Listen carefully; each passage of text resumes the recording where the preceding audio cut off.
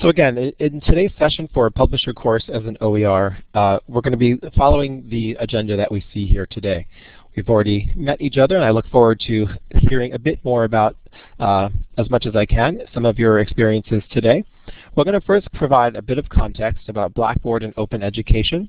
So there's been some discussion out there um, since some of our announcements last October. I wanted to help provide that context for you all who may not have seen that or heard about those, the announcements that we've made, and then in particular focus on the, the topic of today, which is how to publish your course as an open educational resource. And as it mentions in the description, we'll be utilizing what's known as course sites for that. So as I go through uh, some slides to give you a sense of what that is, We'll also then dig into the live system so you can see that how it would work, uh, both if you're a current Course Sites user or if you are not yet a Course Sites user, how that might look. So I am targeting two audiences today. If for some reason I talk about something that you're not familiar with, please feel free to go ahead. Uh, you're welcome to raise your hand or uh, you're welcome to press the talk button if you uh, would like to go ahead and ask a question live. Right, then we're take a look at some looking ahead, and here's where I would like some input from you all. So as you're as you're seeing what I'm demonstrating to you, this is really a, a start for us in, in certain regards in this space.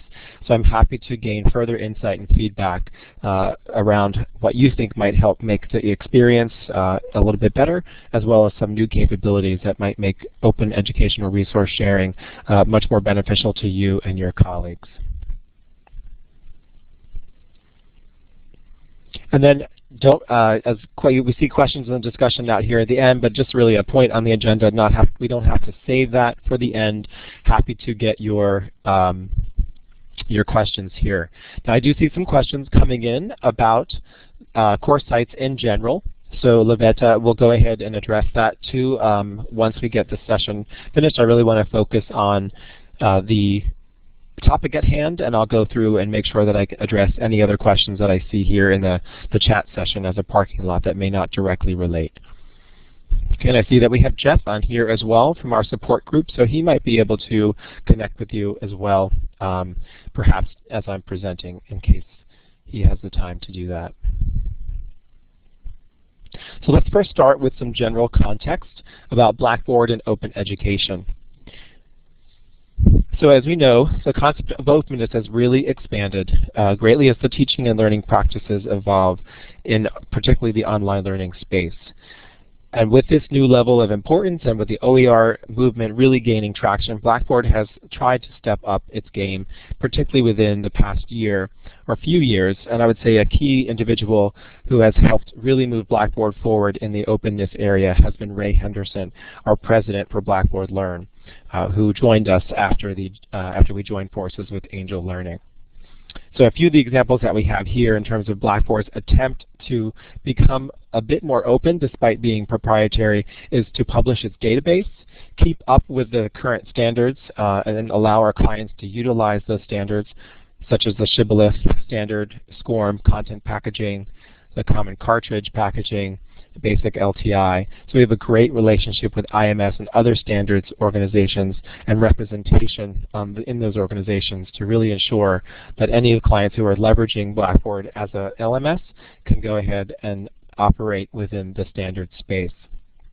We also have a Blackboard building blocks framework, and we'll see a good uh, number of examples of how those these building blocks are used in course sites, and this is uh, the way for clients to go ahead and leverage the open APIs that expand each year uh, to go ahead and add on to or expand Blackboard in different ways that we haven't yet done so within the core product.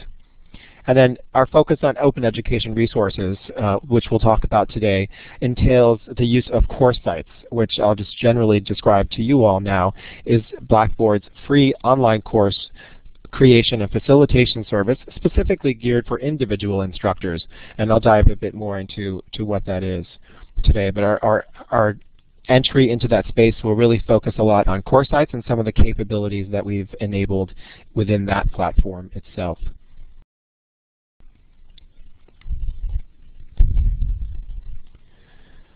Okay, and then as we look at uh, the coming year, uh, not sure if any of you had come to EDUCAUSE last year, which is an International Technology and Higher Education Conference, or perhaps even ISTE uh, in the summer. But last year, and uh, President Ray has the president of Learn, Ray Henderson, outlined a few of our strategies for the coming year. And part of that is really to expand our lens when it comes to openness, not just following the standards, but digging a bit more deeply into open education resources. Um, and along that line, for clients who are leveraging our technology, clarifying a license policy to help grow with the openness movement, supporting them by not necessarily uh, by helping them expand their license to support non-revenue generating users in an open courseware type of, of uh, situation. And then also looking at how we can continue to expand the practices with Blackboard technology and support open education. And this is really the area that we'll be focusing on today with CourseSites, as well as gaining your insights. So part of this session is definitely meant to show you what we're thinking and what we're doing to date and gain your insights into what might, uh, how it can be better, how it can be different. So I definitely look forward to each of your uh, contributions in that regard.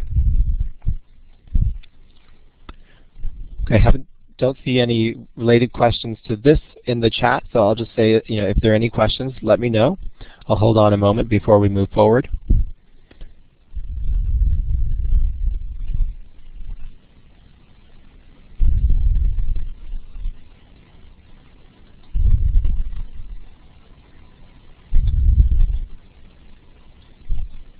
Okay.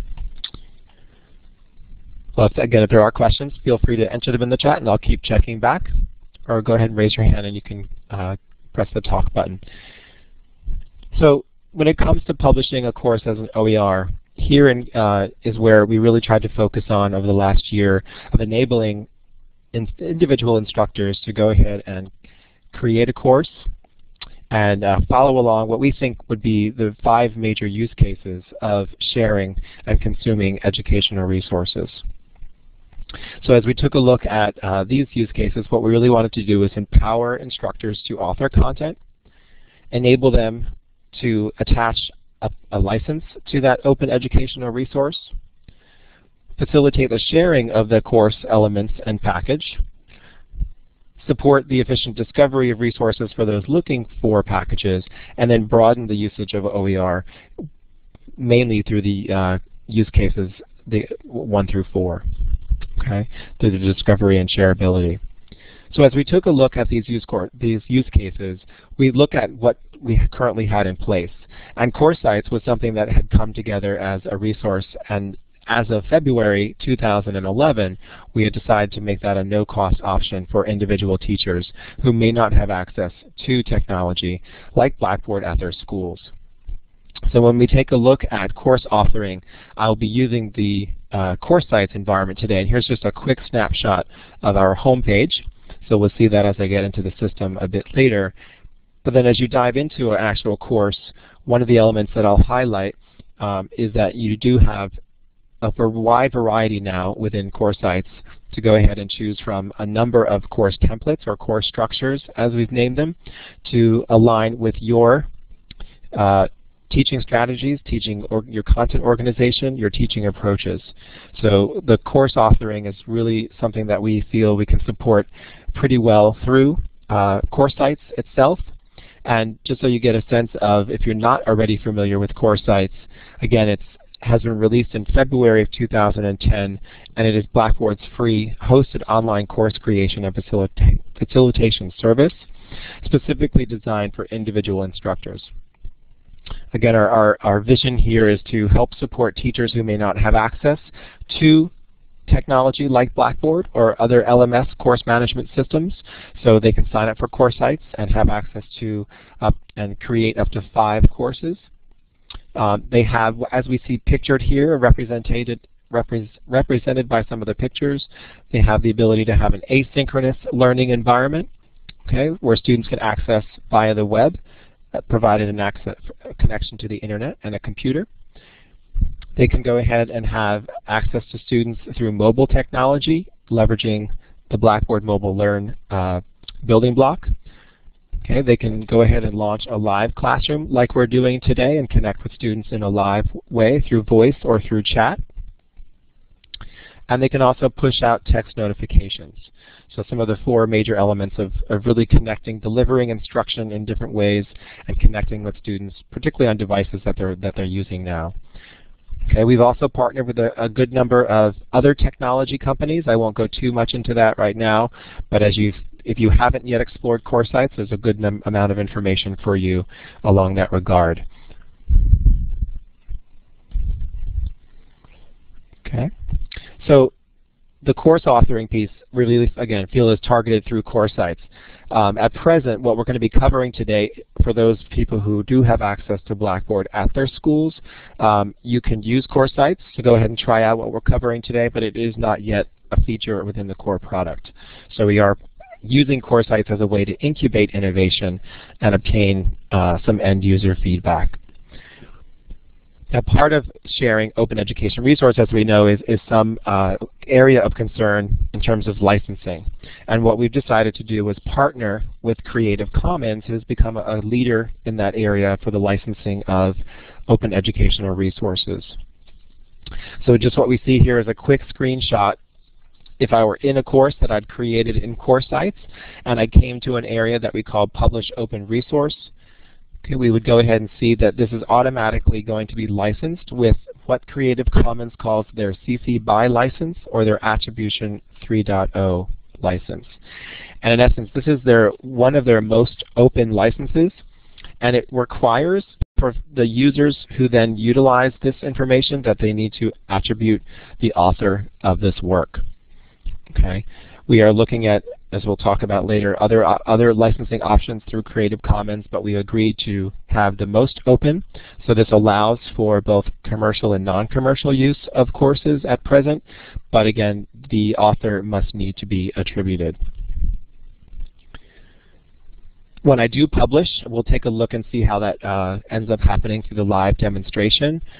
But as I import that class either either either into a Blackboard environment or if I'm using the common cartridge export, we see that in the course areas I also have the attributions quite visible. And then particularly if we're using uh, later versions of Blackboard, we see that an OER license text file comes into the content collection and also is attributable uh, to the initial author there with some of the metadata coming through. So we worked with Creative Commons quite closely, including Cable Green um, and some of his colleagues to ensure that this process was pretty seamless and the attribution was as visible as possible. So I see a good number of uh, amount of activity on the chat, so let me step back here for a moment and see if I can address any questions before we move farther.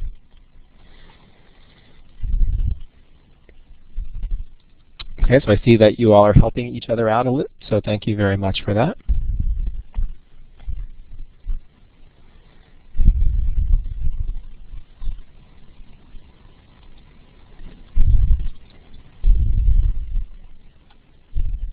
So Ben, I think is, your question is the, the most relevant here.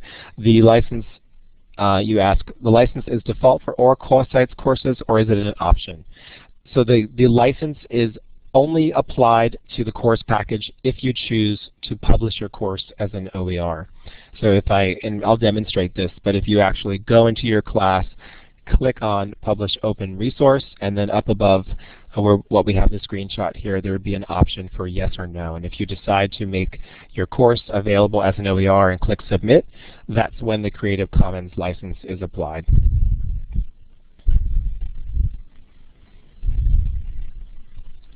Okay.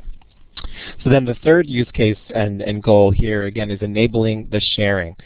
So within CourseSites, we have one of two options uh, in terms of sharing.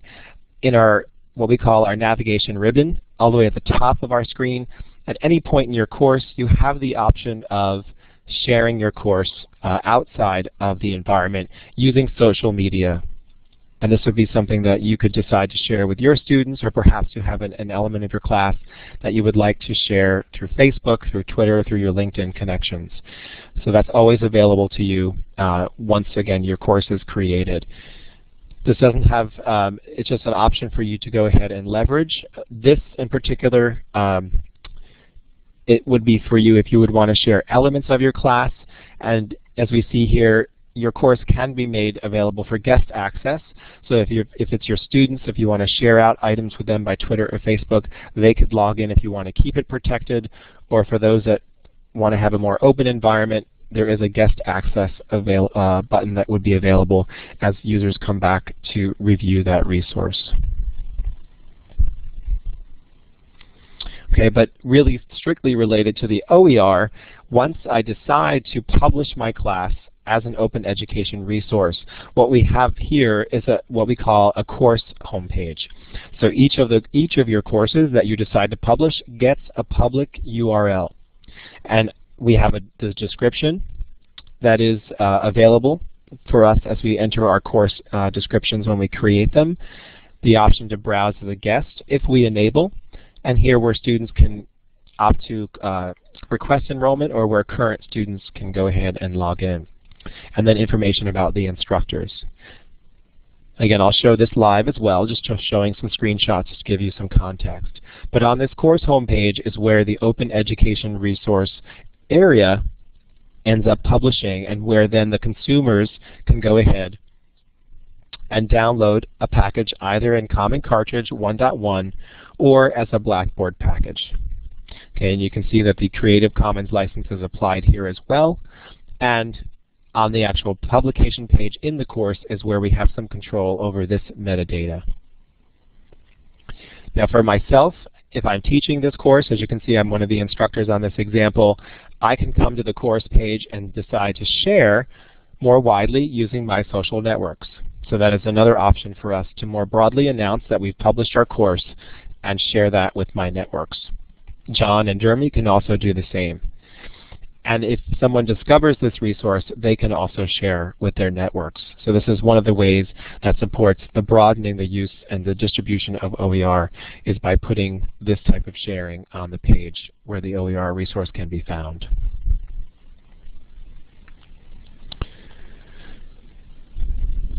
Okay. So along that line, um, our first step into the discovery use case here, the fourth use case that we thought about as we put together this capability, is how, and we know the need is for folks to go ahead and find these resources. So as we had started to do research in this area, we started to learn a little bit about the LRMI, or the Learning Resource Metadata Initiative. And just by the use of the green check or red X, can I get a sense by who is familiar with LRMI or not?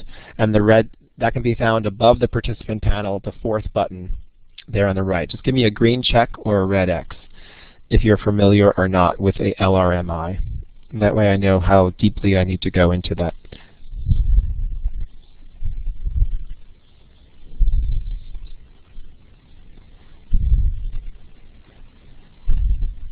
Okay.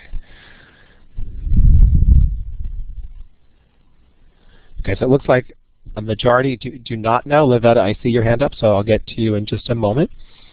But so the LRMI is an initiative that is really geared um, to, to target the rich search of open education resources on the web. And it is a, an initiative that is being co-led by Creative Commons along with the Association of Educational Publishers. Now the LRMI is using and it's really meant to be establish a common vocabulary and a metadata so that as you're searching for open education resources on the web, you have a much richer experience. And the example I can provide to you is currently Google, if you search for uh, recipes on Google, you will most likely see, for instance, if I search for apple pie, you would see that you have options that show up on the left-hand side about whether, you know, by you can then filter that search by ingredient. Um, so if I want a, uh, a crumbly crust or I want a pastry crust, you know, I can go ahead if, if I want cinnamon, cardamom, and, and all those different things, I can look for recipes with those particular elements. So the LRMI is really trying to leverage that type of search capability, but associate it with educational resources and give you the ability to search by subject, perhaps by um, level of difficulty, perhaps by standard, you know, whether that be K-12 or higher education. So if I'm a nursing instructor and I want to look for nursing resources, you know, I, I could eventually be able to filter out those resources much more so than I can do today. now that the internet really has grown in, in terms of a wealth of, of information. So what we've done is aligned um, ourselves with that LRMI standard and have begun to utilize the metadata.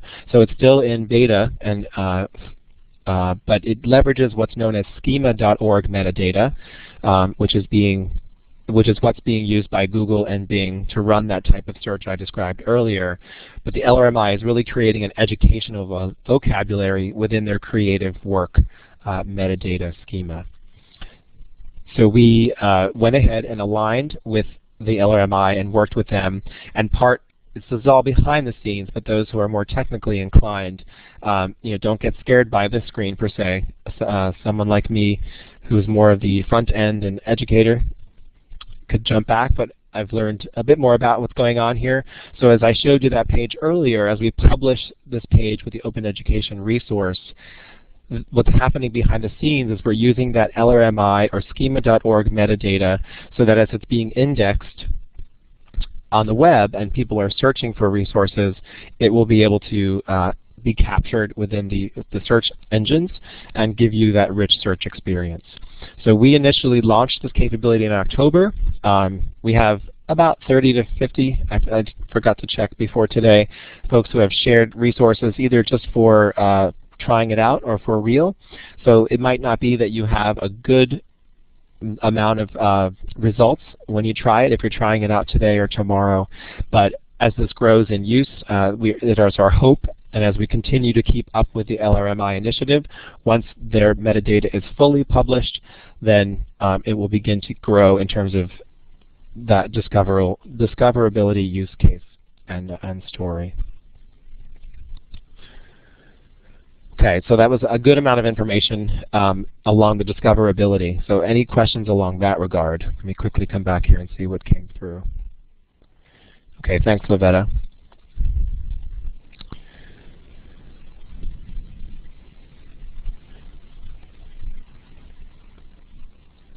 Okay, any other further questions about the LRMI or the use of this to enhance the discoverability of the resources being published through CourseSites.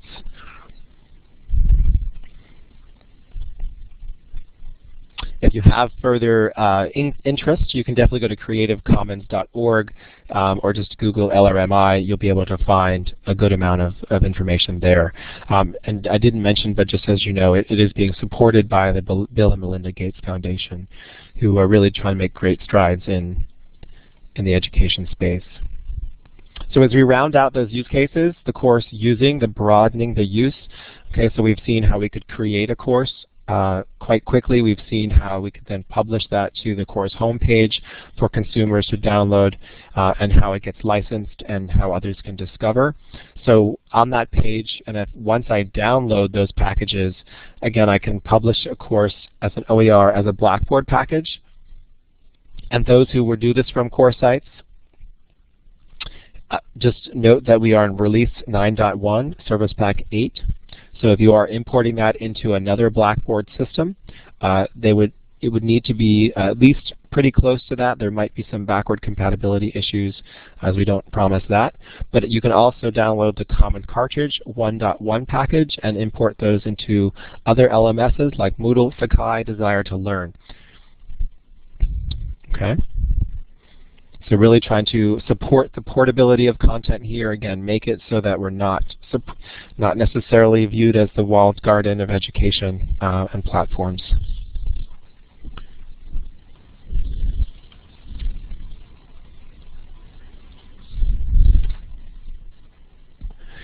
And I see just a question um, that has come through. As a reminder, we are recording the session. Uh, we'll go ahead and share this uh, I'll see if I can get a list of folks who have attended from um, the conference coordinators, but you can go ahead and email me at jarl.jonas at blackboard.com and send, I can send you a direct recording. But we will also be publishing to YouTube at, at youtube.com slash course sites. And that takes a little bit, about a day to put up there.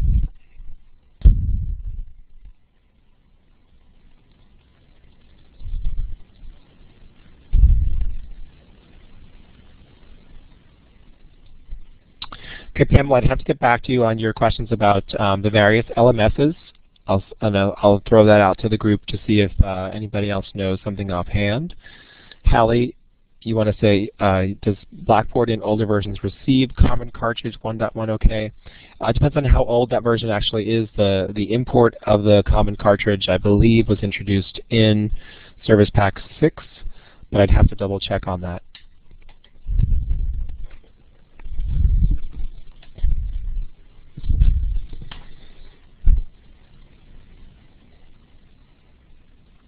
And I also, um, you know, with the limited amount of time today, um, I should also have asked your familiar, familiarity with Common Cartridge, but as you know or may not know, it, the Blackboard export is going to, depending on, you know, it is, it's taking the whole entire course at present, um, including your course content, your settings, your assessments, um, and other Blackboard specific content types like wikis or blogs, whereas your common cartridge is a bit more limited at this point since that's um, the IMS standard that's being built. But it does support your basic content types, uh, basic LTI assessments, including um, your just five question types, which is the matching, multiple choice, um, true and false, essay, and multiple answer. Okay, so the, the common cartridge will be a bit more of a limited package in that regard, just so that you're familiar uh, in case you're not um, familiar with that standard. So Maida, if you're, uh, if I'm pronouncing your name correctly, you are helping transition us into the live demonstration. So thanks for being my audience plant. Uh, we're going to go ahead and now go through a bit of this process that I had briefly described to you all today. So give me one moment while I share my browser.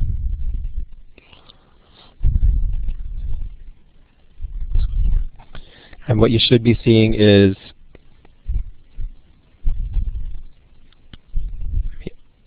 the CourseSites homepage.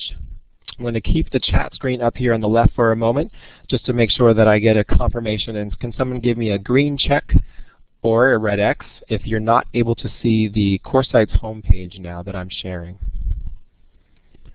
Great. Seeing a good number of green green checks coming in.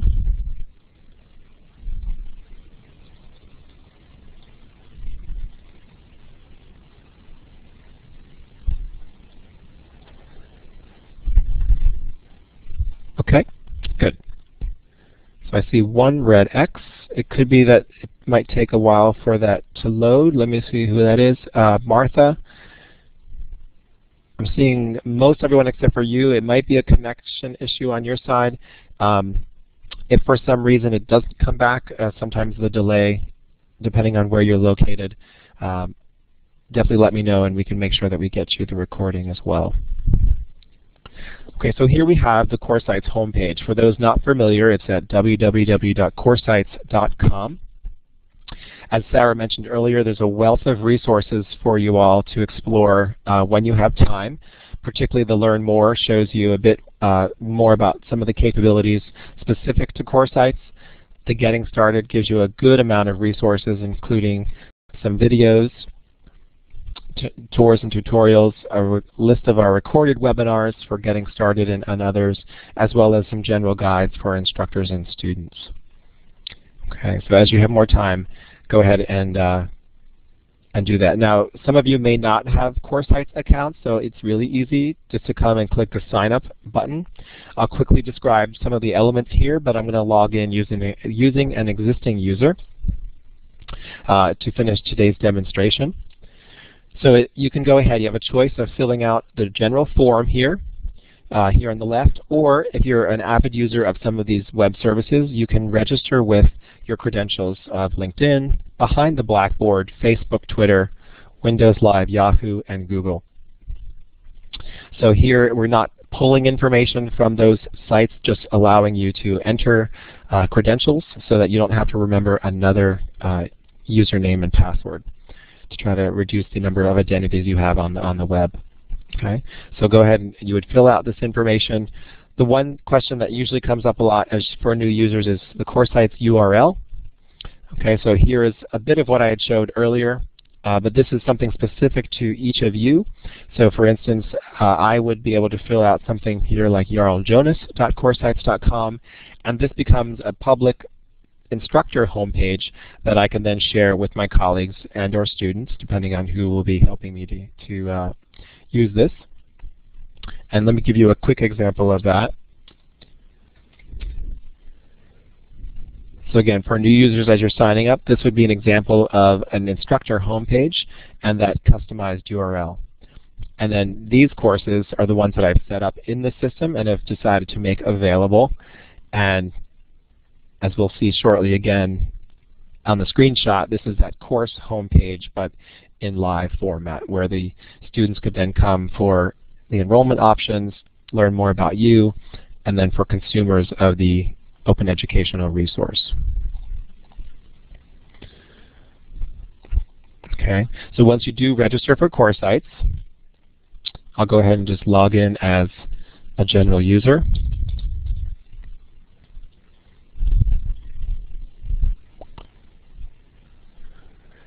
Okay, now as a as a new um, user, you're going to be immediately taken into a course creation process. Okay, at that state, you'll go ahead and just enter a course title, a course ID, and a description, um, similar to what we see here.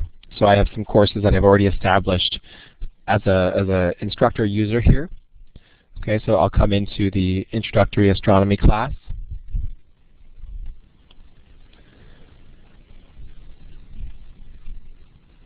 And let me just go ahead and launch, again, if you are a new user going through the course creation process, and some for some of, the, of you that may not be familiar, okay, you would have a new quick setup guide that would then launch. Okay, so your title and your description would go ahead and populate based on what you had filled out in the prior screen, and then you could go ahead and choose from about 30 course structures. Again, take a look through the different ones that would match your teaching approach, your content organization, or just how you like to have your class. Okay, you have some focuses on time, content, structures that might help replicate coming from a, a different system. Okay, and then some particularly focus on communication, and then on activity. Okay, so choose the structure that would make the most sense for you, and you're welcome to go ahead and click around just to get a sense of what each of those menu items might link to. So this really kickstart the course development process, gives you a template of sorts to, to work with, particularly again if you're uh, new to, to CourseSites um, and to Blackboard in general. And then you're welcome to go ahead and choose a theme. This just helps to provide a visual environment for the students beyond just some uh, colorization. There's some designs that you can choose from. Okay, and then as you want to have more ac access to resources to learn, you know, feel free to explore this area as well. Okay, but you can hide this so this pop-up doesn't come up each time you enter the class, and as you've decided on your changes, you would apply those changes. Okay, and then in essence, you would then have your course environment. So again, I really wanted to focus today on the Open Education Resource uh, tool. So I, I'm happy to uh, entertain questions after we're finished about more of the course environment. But pretending we had spent some time setting up our class, I can come down to the control panel, which is my instructor dashboard to help manage the learning environment. And within the package and utility area is where I'd have publish open resources.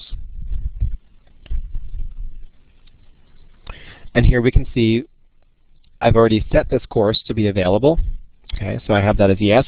I can decide I don't want to I do I do not want to share any longer, so I could click that to no.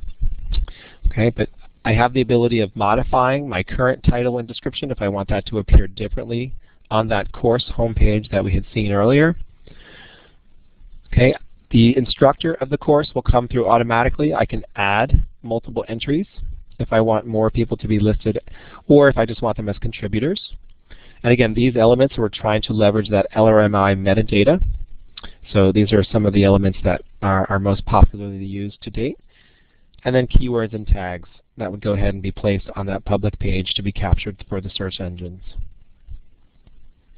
And here is that public URL So this is a good way for you to know if you publish your class, how users would be able to get to that um, without having to go through your instructor homepage.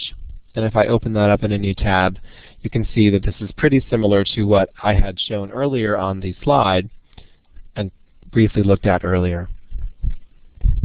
Okay, so again, since I had already published my class, um, it shows me when it's last been published, how many versions there have been, as well as you know the packages for me to download and the common cartridge license. Okay, then I would submit. I can, if I've made changes to my course, um, you know, I could come in and always update my package so that the latest one is out there. Okay, I'm not going to do that at this point as, as right now it's not a queued process and that's something that we're working on um, just so it's not spinning in case I need to go to other areas of the course today. Okay, so again, from within your My CourseSites, you would come into your course, come to your control panel, package and utilities, and then publish open resource. And then once on this page, once submitted, Again, you, on this page you have the ability to share yourself out with your social networks if you want folks to be able to pick this up. Okay. Or again through general web search as our users who continue to publish courses continues to grow, the uh, they should be able to be picked up. All of this information and metadata should be picked up by the general search engine searches. Okay. So let me just open up the chat screen here and see if anything has come through. Answer a couple questions, and then I want to go ahead and return to this presentation. Just give you a sense of, you know, here's where we started, a couple of items about where we are intending to go.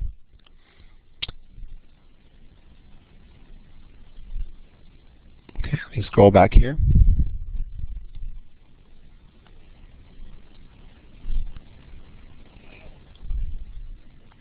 So I see a couple connections um, being made, so that's great. I'm glad we can facilitate some of those. Pamela, you have a question. How does it identify us? Is it possible to set up more than one account, or is there machine recognition? Um, so let me address. Uh, basically, it's identifying you by name at present. So here and as, as our metadata attempts continue to grow, uh, we'll probably continue to provide some background open graph information so that if you're sharing, you know, your, your information is being picked up by Facebook and LinkedIn um, quite easily. And then on your the public pages, again, it's, it's by name. So if I'm not answering your, your question correctly, let me know. And then within your Creative Commons license, it's taking the author here, or the authors listed, and publishing the information there within the package itself, as I showed earlier. So as folks download uh, these packages, the Creative Commons license inside the course attribu attributes it to you know, both the authors and the contributors. Let me know if that helps answer your question there, Pamela.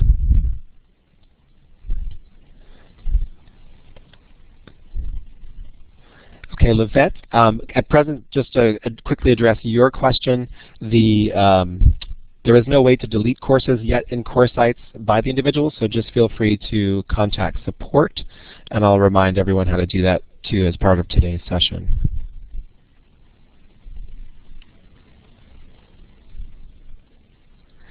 So made a great question. Um, presently, iTunes U is something that can be linked with our enterprise clients uh, into Blackboard.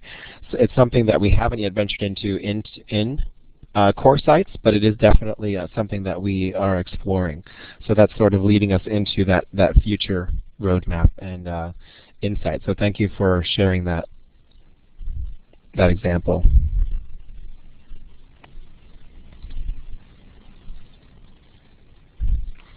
Okay, Meta, you're also looking at um,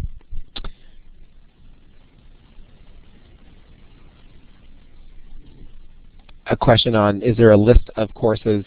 Uh, so at present, because each uh, the way CourseSites is set up, as you, as we as I demonstrated today, each each instructor has their own home page. but I've begun to look at ways to create a sample exemplary page um, like you're looking for, particularly using our exemplary course design winners uh, from Blackboard. So that is something that also is being uh, looked at and put together as we speak.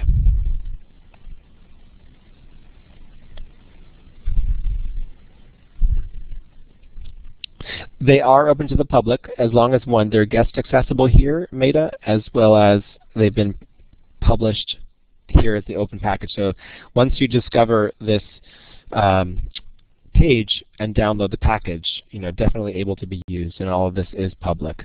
I just don't have a federated, or I should say a curated catalog of sorts of all those who have published their course yet. So that's something that we are are looking into. Okay, so the discoverability portion. So let me, some of these are going back into um, the next area. So I'm going to stop sharing my uh, web browser here and come back into the session.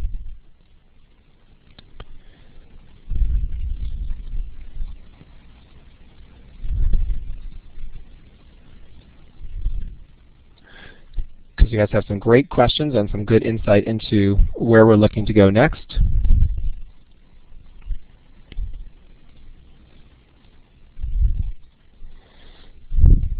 Okay, so Meta, you had a, a, good question. How do I find them? So we started the discoverability story strictly with trying to align the uh, the instructor homepages. Since right now CourseSites is much more on an individual uh, use basis, we've aligned that those pages with the LRMI metadata. So you typically would be able to discover them through general web searches. Um, our next step is to look at what type of catalog we can put together. Uh, and again, since we're working a bit in tandem with Blackboard's core development team, what we're trying to do is not replicate what's already there, or even look at what's out in the in, in the open education space, and perhaps leverage um, something like enabling instructors not only to publish to their home page, but publish to Merlot, which has been a long-standing repository of open education content. Okay, so that's some of the, the items that we're looking at moving into since we just released this capability in October. Been doing some continued research and Connexions uh, with those in the space like Merlot with connections um, and attending some conferences to see what else we might be missing. Okay, we're also looking to provide some more granularity. So at present, the you know when you publish your class, as I've demonstrated, it it captures that whole package, uh, the course itself, we're looking to provide some granularity and decisions in that regard, um, as well as looking at not only pushing information, but currently there is a building block we've made available in CourseSites that you can search for Merlot content, but we want to go ahead and broaden that highway so that you can go ahead and pull in information from other repositories. Um, there are current mashups that allow you to pull from YouTube and SlideShare and Flickr, but we want to go ahead and look at what other popular ones are being used and give you the ability to consume information from um, those repositories as well as publish as we talked about today. And if you're looking at different sites such as Connexions or such as Merlot, we're talking with those organizations to see what there might be uh, a way for you to collect or push information uh, rather than have to pull it from within CourseSites, there might be a way for you to push that into a core site and just have you collect information and then CourseSites could be the environment that you end up delivering the information to students or participants uh, within a learning environment. We're also looking at um, providing a bit more options in terms of licensing. So we started out with the CC BY. We know that some just might not want to abide, um, you know, by that general open license and provide a bit more um, granularity there as well. So Common Cartridge, or pardon me, Creative Commons has approximately six licenses now available um, that we could potentially give you the option to choose from. And some restrict commercial use, you know, some are, uh, there's no derivatives available, just use as is. So just there's a good number of, of items out there that would reflect different use cases and purposes for use of the content. Okay, so these are just some of, you know, outside of what we've talked about already, some of our plans. I'm definitely happy to collect some of your thoughts based on what I've shown today. If you haven't already shared in the chat or if you feel like you want to uh, talk live, happy to have you do that as well. So as you're pulling your thoughts together there, let me go ahead and see if I've missed any questions here in the last few minutes as I've described some of our future considerations.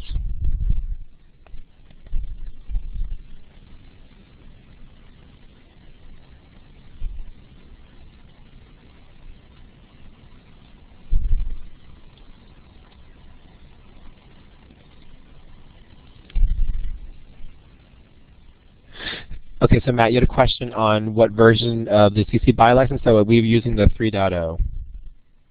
But I, I see that you answered that yourself later on.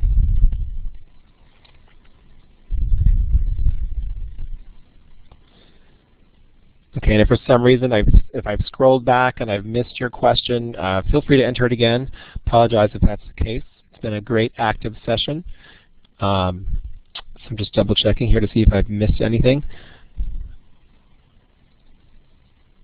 Maida, thanks so much. I appreciate that, that comment. Um, definitely, you know, trying to participate in the conversation at the very least and see where else we can go. So I mentioned that this capability is not yet in the core product, but part of the purpose of CourseSites is to really, again, incubate innovation and take these elements uh, that we're exploring with the teachers and students who sign up and use CourseSites on a daily basis, collect their feedback and use uh, cases and then feed that into our core development. So it's possible that what we see here could end up in the core product um, a, at a future date. So part of your feedback uh, could help shape that as well.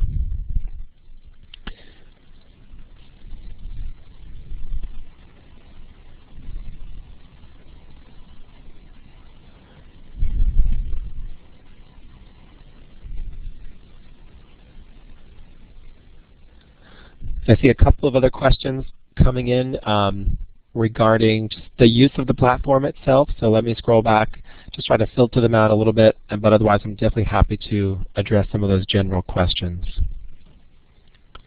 Great, Mohammed. Thanks so much.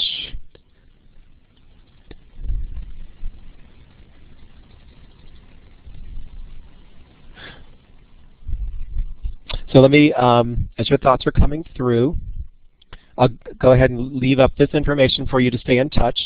Um, for those of you who might want a actual presentation or a copy of the presentation, feel free to email me um, directly and I'll go ahead and send you a link to that. As we mentioned earlier, the recording will be posted up to YouTube.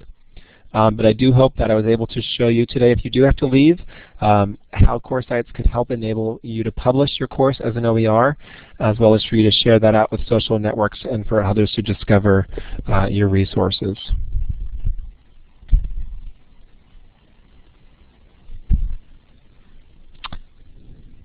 Thank you for the very kind comments. Uh, Barbara, that's wonderful. very wonderful. And Pamela, you have a question. Is there a place, uh, come back here, place for teachers to collaborate